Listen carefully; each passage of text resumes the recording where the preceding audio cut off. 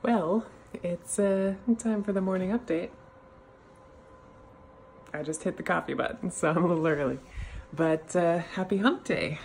And it's been a while. Sorry, it's been a while. I've been uh, doing the costume crunch thing, trying to get uh, all my costumes done for Emerald City. And uh, we are here. It's, it's time. Um, Emerald City starts tomorrow. So I have a day of work today, and uh, then I've got to start packing already kind of started laying out the bags. Um, and my costumes are all pretty organized. Um, just got to figure out packing them up and without them getting um, damaged. Um, several props uh, got to be careful of, like Cammy's stuff. And uh, uh, Psylocke's sword is just gonna not gonna pack. I'm just gonna have to carry that around. But yeah, feeling pretty good about uh, all the new costumes.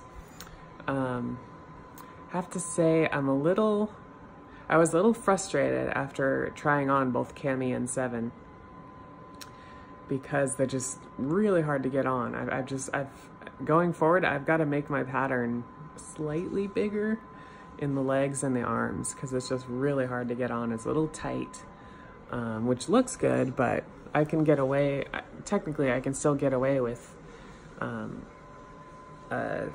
making the, you know, taking it out a little bit in the pattern and it'll still be tight. Like, you know, um, just doesn't need to be that tight. And, uh, you know, the, the, tighter it is, the more it's uh, difficult to get on and the more likely it's going to rip. and with my track record for latex costumes ripping, I've just got to keep that in mind. So, so yeah, I'm uh, hoping everything goes well and nothing rips, but like I said, my track record's not great. So we'll see.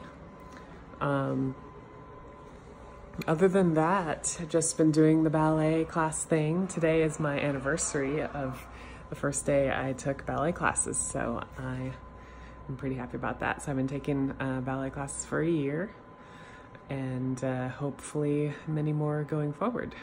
So yeah, other than that, not much else going on. I'm just excited about Emerald um, probably won't do a lot of vlogging, but look, look for pictures and stuff, of course.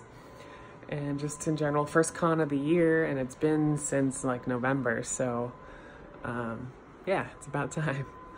And uh, coming up, we've got SakuraCon in April, and then it sounds like we might be going to SummerCon in June, which is another local con at the Puyallup Fairgrounds in Seattle area. And of course, we'll be going to Rose City in September. Um, it's always possible we could go to Stockton Con in August. And other than that, probably just Jet City, you know, in uh, November.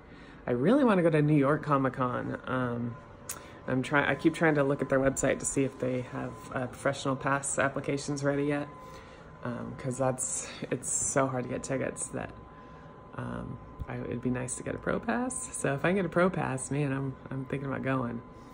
Um, of course, the trip is still pretty expensive, so we'll have to figure that out if Abby and Lewis um, want to do that or not. But the first thing is getting a pro pass, so because we don't really have a lot of big cons planned for the year, so um, that's the one I'm hoping we could get to. Um, so we'll see. Um, other than that,